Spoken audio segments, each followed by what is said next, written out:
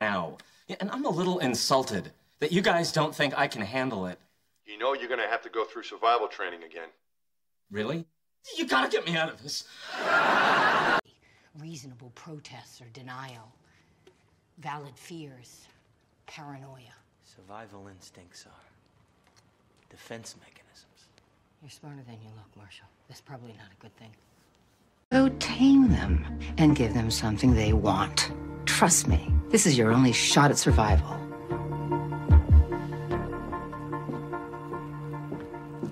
Hey, TT. Check out my new nail color. It's called Vigilante Violet. What do you think? In English vocabulary, we will learn the word survival. It means the act or fact of surviving, especially under adverse or unusual circumstances.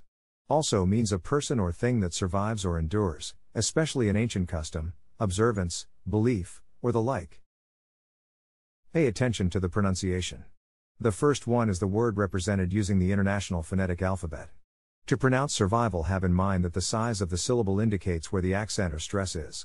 In this case, the accent is in the second syllable, corresponding to vai. Below are other ways to pronounce it. Now, let's see how survival is used in real life. Trust me, this is your only shot at survival. Heavily fortified, Bergen-proof survival bunker. If I'm gonna stand even the slightest chance of survival, I need. Someday, when the Bergens find us and the You know you're gonna have to go through survival training again. It's about bringing order and ensuring. Survival instincts are. Take the test at accent101.com to find out si sabes inglés o hablas inglés.